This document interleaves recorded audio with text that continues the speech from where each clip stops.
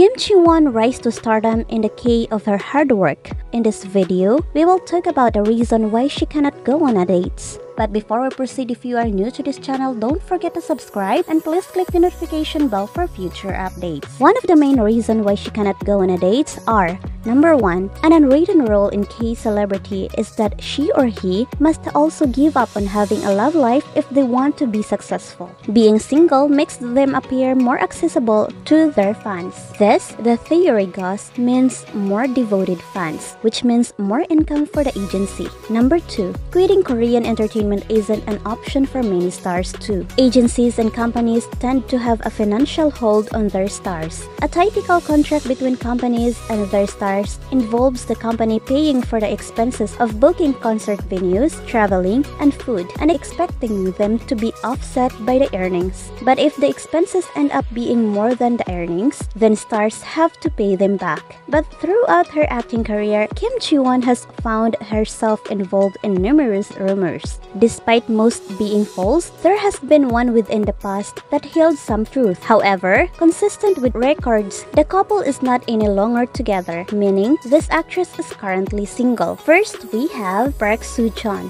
In 2017, Kim Ji-won collaborated with Hwarang actor Park Seo-joon in the romantic comedy series Fight for My Way. Who would have thought that their unexpected pairing was the tandem that the K-drama fans will enjoy watching? From having a strong chemistry on screen and being naturally adorable off-screen, some fans speculated that the two are dating secretly. However, during one of Park Seo-joon's interviews in 2020, he clarified that the two of them just get along very well but they have never been in a romantic relationship. Second, Yoo Yeon-seok. Talented actor and hospital playlist star Yoo Yeon-seok was rumored to have dated actress Kim Ji-won. According to Dating Celeb, the two were caught dating in 2016. Paparazzi have released some information regarding the status of both actors. Kim Ji-won and Yoo Yeon-seok were spotted together in a restaurant in Seoul, but also according to the report, their managers were also with them during that time. When the news broke out, Yoo Yeon-seok's agency was quick to clear the rumors and release a statement explaining that the two are simply just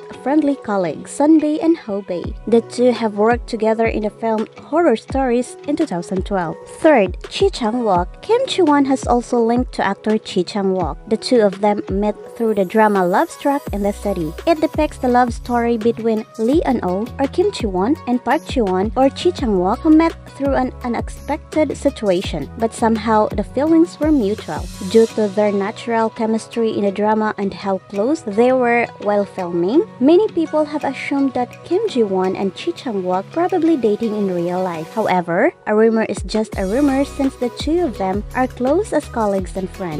What can you say about this video? Let me know in the comment section below. Thank you for watching, stay safe, and God bless.